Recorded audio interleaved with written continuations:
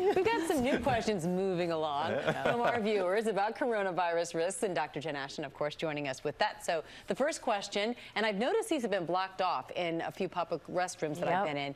Should we avoid air hand dryers in public places? So there's no official data on this. In other words, they haven't tested paper towels and these hair, these hand dryers head to head.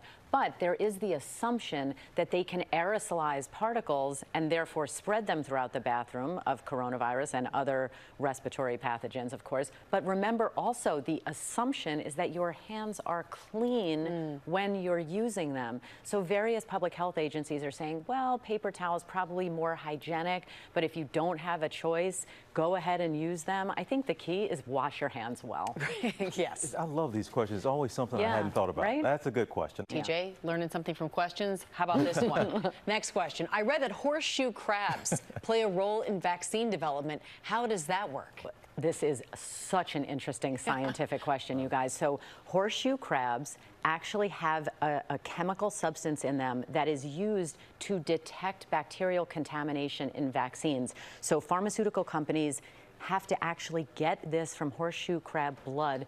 They have to get about a half a million Atlantic horseshoe crabs every year. Conservationists are not happy about this because it is making a dent in a negative way in the horseshoe crab population. There is a chemical you know, substance that can be used. But in the U.S., we're not allowing that chemical substitute. So we are getting this substance from actual horseshoe crabs, and it is to detect bacterial contamination in vaccines. And one Fascinating, last, right? it- it is fascinating, and here's Uh-huh. one. I'm sure a lot of people have this question.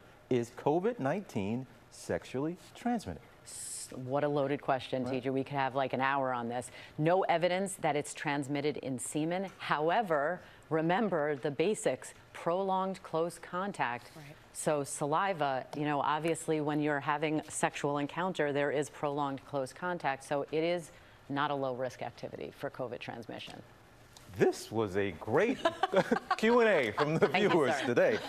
All right, and you can submit more of these outstanding questions to Dr. Ashton on our Instagram at Dr. J. Ashton. Thank you as always. All right, thanks, Jen.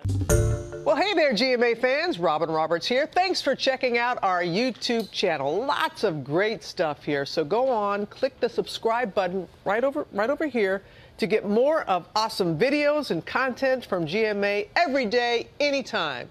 We thank you for watching, and we'll see you in the morning on GMA.